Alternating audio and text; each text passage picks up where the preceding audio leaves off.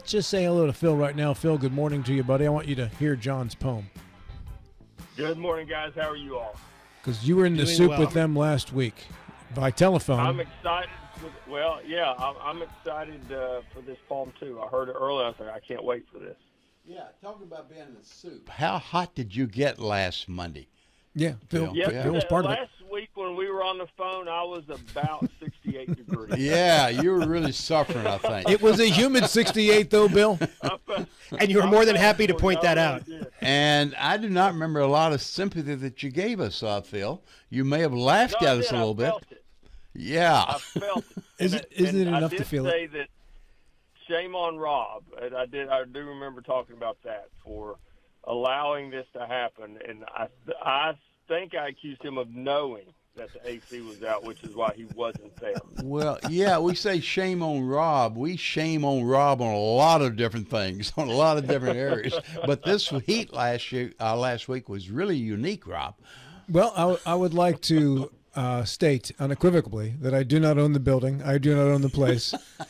the only decisions I make is each morning when the alarm goes up at 3:20, snooze or no snooze. That's, Yeah, that's He- it. He's he's throwing Hornby under the bus, I know, John. Well, that- I believe it was Mr. Hornby who came in on the program one day when you said something about Bill's chair, and he said, "That's my chair. chair. I own that. the chairs, the table, the building, everything in here, and that includes the broken AC unit." You're right, Rob. It You're didn't right. suddenly convey to me when I left for work that day. Now, without further ado, Mr. Gilstrap, the are we ready? I am. All right. Do you need any music behind you? Well, something soft would be nice, but no, we can we can we can do it over silence. This is called "The Ballad of WRNR" by New York Times best-selling author John Gilstrap. This is how he introduces himself to people, by the way, when he meets them. It sounds haughty when I say it, doesn't it? When, when he's in the waiting room at the doctor's office, that's how they call him to the to the front desk. And now dedicated to Rob Mario and Bill Stubblefield. Are you nervous at all in reading this? No, I, I, I think we'll, we'll see. Ask me if I'm nervous afterwards. All right, here we go. In Martinsburg on the radio, in the mornings, you'll find Rob Mario. An Italian kid from Steelers Town, his face only rarely wears a frown, though it's sure to happen if he should see someone eating a can of Chef Boyardee. This is all true. Rob works the board like the pro he is while helping newbies learn the biz. He demonstrates a certain flair that avoids all feedback and dead air. His approach is open, honest, debonair, as he calms most guests, but not Craig Blair. Because who could? For me, Monday mornings bring the thrill of sitting alongside Admiral Bill. There's not a soul he doesn't know. His questions brighten up the show. And regular listens know the fun when he pronounces words like chrysanthemum. I don't even try. On Thursday mornings comes a seersucker suitor. That's Matthew Harvey, prosecutor. His quest for justice knows no, knows no equal as he fights to rid the world of evil. A trivia buff, he likes to compete in contests that features the Mountain State. A few years ago, he dodged his nader when he squeaked out a win against a smart eighth grader. I tip my hat to the radio to the studio crew and offer my thanks at all for all that you do. Colin and Spencer and Dylan and Nick, y'all are ambitious and young and really quite slick. You report on sports ball and regular news. When I was your age, life was all about booze. For decades, I've dreamed of a radio gig, talking on air about topics I dig. To Rob and Mike Hornby, who said, Give it a try, I am very grateful and will not be shy about laying on compliments, offering praise. But would I be out of line if I asked for a raise? No, I don't think it. you would be. There you go. Rob, you have competition. You have you competition. Yep. But I didn't do it in the voice. I could have done it in the voice. I think Ferretti called that the fake New Jersey Pittsburgh accent. I was expecting something about the broken down air conditioning No, unit. no, though. that wasn't that. No, that wasn't. I thought this was Gilstrap's payback. Well, very nice, John. Uh, Phil, what did you think? What would you give it as a grade? I'd give it an A plus. It was a good job. I I, I, I liked it. He's just relieved he wasn't in it. You're, you're pretty lenient in your I, I grading, think, I think Well- Phil's sucking up. He wants a new account. He wants that New York Times best-selling author John Gilstrap financial account. I was nervous that there was going to be uh, my my quote of licking a horse was going to come up in there. So It I, should I have. give him an A plus because it wasn't there. That's why I've got to give it an A minus. There should have been some type of reference to Phil licking a horse. Uh, Phil, hey, uh, I looked up some numbers here because as this continues in the preseason, uh, these are pretty cool times for Shepherd football. Tyson Bagent, 9 of 10, 76 yards, and a rushing touchdown in the Bears game. He had a 98.3 passer rating. And Ronnie Brown, 7 carries, 19 yards for uh, uh, Tampa in their preseason game. So not only these, uh, and I, I don't know about uh, Fisher, by the way, in terms of his stats. He's an offensive lineman, so they don't usually grade in preseason uh, what an offensive lineman does. But it's pretty cool to see these Rams getting playing time in their rookie camps here in the NFL. Who knows? Maybe uh, a couple of them will stick.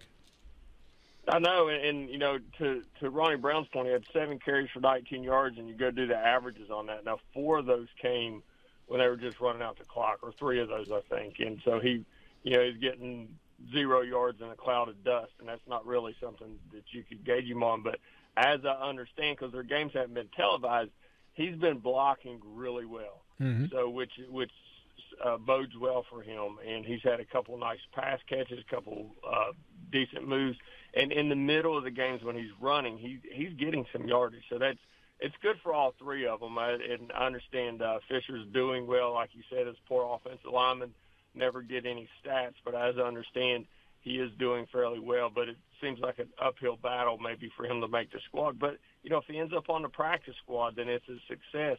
But as far as Tyson goes, man, he's captured the city of Chicago. Not that I'm in Chicago, but I've followed the the sports writers of all three of these teams on Facebook, and it's popping up on Google and looking for them on Bleacher Report. And uh, Tyson has for sure captured Chicago. They love that guy. And you know, another good thing for Tyson uh, is that uh, PJ Walker and Peterman have been terrible. So they're looking at, you know, we got Justin Fields, who you know they've they've pinned a lot of hopes on. But when you look for their backup, and he's a running quarterback, and those guys get hurt a lot. So those fans and the sports writers are very interested in who the backup quarterback is, and they are all clamoring for Tyson. He's done extremely well. His command of the offense. He seems calm, and to me, the most the most impressive play. We had a quarterback sneak, and he came up and he got everybody down, and everybody was set, and he got two or three yards on a quarterback sneak. Tyson's a big boy, and we all know from his dad, you know, he's a big, strong kid, and that does him well. I saw a rollout passes. It, it is really exciting, and I heard this morning on national spot, uh, Fox Sports Radio them talking about Tyson. He's got he's got some swagger to him, and it it is is exciting. And they're not the first ones. The only thing that bugs me about the whole thing is hearing commentators talk about Shepherd, and you know they almost do it jokingly and they downplay where the school's from. These three aren't the first ones. You know, I played with the guy that that spent some time in the NFL, like on active rosters, and James Rooths, and there's been plenty. Howard Jones, I remember watching him in camp, and he bounced around from a few teams. So it's not foreign territory, but to have three of them there, and especially the attention Tyson gets, and it is, it's really cool. Yeah, Rooths, I think, bounced around with the Jets for a while. He was the best kicker, kick returner in, in NCAA Division two football when he played. I remember that. Uh, Ricky Schmidt, also uh, punter, he got some time in uh, the Canadian League for a while. But these three guys, they're really uh, capturing some imaginations. And, and Bagent is playing so that in Chicago, I understand it, Phil, that they're afraid to try to stash him on the practice squad because he might get claimed if they put him on waivers. Yeah, and I think the early thought was that hey, we'll get this undrafted free agent and we'll get him on the practice squad if he could if he could handle this competition and then kind of groom him. But now the way that he's played, you know, I think even a coach had mentioned that man, we can't put him on the practice squad. He'll never clear waivers. When they go on a practice squad, other teams have the opportunity to sign him. And and the way he's played, you know, and you, and you hear some, and, and they were talking about this this morning on Fox Sports is like, well, he's playing with against second and third teamers. Well, he's also playing with second and third teamers as well. So he's making throws into tight windows, and you still have to command the offense. Sometimes that's even harder when you've got like a hodgepodge of guys in there. Some are second and third team, and and some journeymen and so forth. And he's commanding the offense in that scenario. So yeah, he's playing against that, but he's also playing with that. and has been extremely successful in both of his outings. I can't wait for the next one. I don't know that I'll, I'll be able to watch it, but I can. I'll, I'll certainly record it if it's on television. I'll find it. I can't wait for the next one. Hopefully, he gets a lot of time and can further state his case to be. They're not talking about him making the team. They're talking about him being the second team quarterback, and that is huge uh, when you have a, a, quarterback like Justin Fields, who's they may uh, he's a, he's a early first round pick. Heck, he might have been number one pick, but as much as he runs, they're they're a stone's throw away from that second team guy coming coming out and playing, and that's what they're talking about. Tyson being right now as a second team quarterback. Uh, Phil, do you know whether Chicago carries two or three quarterbacks? I, I don't, and there's a you know a lot of teams now because they're allowed to carry one more player. A lot of teams will carry three on the active roster, but some will still stick with two in case they need an additional lineman or an additional outside backer or corner or something like that. So they can carry two or three. But you know, right now, like, like I said, the most promising thing I think for him is you know if you think about look at it from a financial standpoint, PJ Walker, if they cut him, uh, they save a lot of cap money because they had to pay him a lot. So if Tyson's better, and he certainly looks better, if he's better, he's less expensive it makes all the sense in the world for him to be the number two. Dylan, our producer, just sent me a text that said Pro Football Focus has graded Tyson as the fourth best quarterback of the preseason in the entire NFL so far, which is pretty fascinating. I mean, it's yeah. preseason, so you don't yeah. want to get to it, but would you would you rather he was like the 32nd best quarterback? You know, of course not. You you know, he's playing well. What he's doing is he's making it difficult to cut him, and if he does get cut, he's going to have enough film now that he'll be noticed by other teams. But yeah, I, I just it's gonna be hard to cut him though. Yeah, and he, man, he looks good in that Chicago uniform. He just seems to fit there, doesn't he? It just you know his his grittiness and that town. I'm excited for him. I, I, I don't know him. I know his father, but I, I don't know him. But being a former Shepherd football player and Shepherd grad, and I have a daughter at Shepherd right now, it's uh, it's exciting. It's exciting for everyone. Well, when you meet Travis and then you talk to Tyson.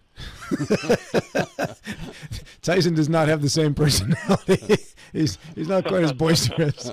Uh, Phil, let's talk finances here, my man. It's a positive morning for the futures markets, but Jackson Hole is this week, and it was about a year ago at this time that Jackson Hole caused a pretty tough uh, next uh, several months in the financial markets.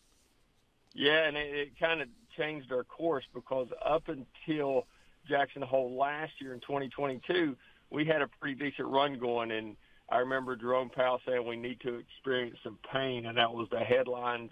And for the next six weeks, we we had a sharp fall before recovery. Hopefully, because August has been so bad, you know, there's been so many so many little things and nothing really positive that would turn us around. I'm hoping that the Fed speak from Jackson Hole can do that for us this time. We got Nvidia earnings uh, coming out this week too, but I think most importantly, probably is Jackson Hole. What we're trying to determine is number one, will there be future rate increases, but maybe more importantly, how long do they perceive that they're going to have to keep rates higher? It will be shorter or longer, and when when will that anticipated first cut come? So everything's kind of swirling around right now with that. The Fed minutes didn't give us much uh, much hope. Uh, Fed speak last time didn't give us a whole lot of hope. Uh, CPI report came out basically flat. It was a, a little bit higher than what was anticipated. Nothing shocking, and so that didn't give us a lot of hope. Uh, Moody's downgrade of some of our was it, uh, Moody's downgrade of some of our banks didn't give us a lot of hope. Of course, Fitch downgrading of U.S. credit didn't give us a lot of hope. So we're kind of scratching for good news so far here in August. But I would remind everyone we went through this in February as well, and, and you know that that is something that happens during the bull market as we have these pullbacks. As of right now, that could still say, hey, this is a healthy pullback. That is something that is a thing. Healthy pullbacks do happen. We just need something to turn us around and pull us back out. Yeah, Phil, uh, we have a lot of stimulators for the market: the PPI, CPI, earnings, even congressional action alike. Why does it appear that the market is more responsive uh, to the Fed's rate increases or decreases than anything else? You nailed it right on the head. They, it is more responsive, and there's a handful of reasons. One is extremely boring, and that's something that we can't we can't lose sight of. Is how you actually determine the book value or the intrinsic value of of a stock or of a company. And part of that equation by the capital asset pricing model, part of that equation is interest rates. The higher the interest rates are, the lower the current value of the stock is. Now we don't always pay attention to the intrinsic value, and I've I've often I don't know that this is a good analogy, but in, you know we talked about the price of used cars last year the intrinsic value of something would be if you took all the pieces of the used car out and laid them on, out in the parking lot and sold them individually, uh, how much would you get for it? Opposed to if that car was put together and it was running nicely and there was no work that needed to be done, well, of course it would be worth more once it's put together and running on the roads than what it would if you sold it by piece. Um, and that's kind of the same thing with the stock. And we don't always pay attention to intrinsic value. Just like last year, we weren't paying much attention to the intrinsic value of used vehicles, and we saw that in our personal property tax bill that everybody's been talking about this year. The uh, but that is one of the reasons, and one of the main reasons, really. Another one is is as values, as interest rates go up, the borrowing costs. So now our our assumptions with with uh, stock prices, number one, they're not as attractive. Stocks aren't as attractive when you can get four or five percent in a risk-free rate of return. And when we talk about a risk-free rate of return, we're talking about time deposits and and cash type products like CD, savings accounts, uh, certificates, and the like. Those are that is a risk-free rate of return. I don't have to worry about the risk of it. But the higher that rate, the less money flows into uh, into stocks. So there's a lot of things that go into it, but ultimately every every stock is impacted when interest rates go higher, and more so though on the growth company side. And the growth companies typically don't pay dividends, and that compounds the impact of high interest rates.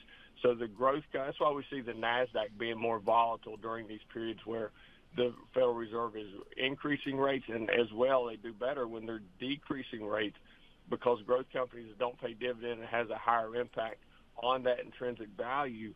But that's a huge part of it. It's a really boring answer, but that is a huge part of it. There's a lot of things that that doesn't bake into. It doesn't bake into our perception of what's going to happen. Of course, uh, a, a math equation on a piece of paper isn't going to talk much about artificial intelligence. It's not. It's going to discount all of that stuff. It's going to discount emotion, but we do tend to run to it during these periods. And there's also a lot of mutual funds and, and investments that are based off of intrinsic value. And and the and the higher the rates go, the lower the intrinsic value. And so they'll start to sell things based off of that. But interest rates are the Federal Reserve, the federal funds rate is a huge driver of the market. And there's there's very few times where interest rates are going one way and the markets are going the other. Now we we we try to we try to anticipate, so it's not a a exact lineage of when rates go up, markets go down, and vice versa, because we're trying to anticipate what's going to happen into the future. Which is why when the Federal Reserve talks, we put so much emphasis on it, and it's so important. So, Phil, shifting away from the, the markets to the economy in in, in large, um, read an article, several articles actually, in the Wall Street Journal last week that talk about the softening economy in China. What kind of an impact? It used to be that when America sneezed, the world got a cold, and now China is is getting pretty big chunk of everything in terms of the worldwide economy.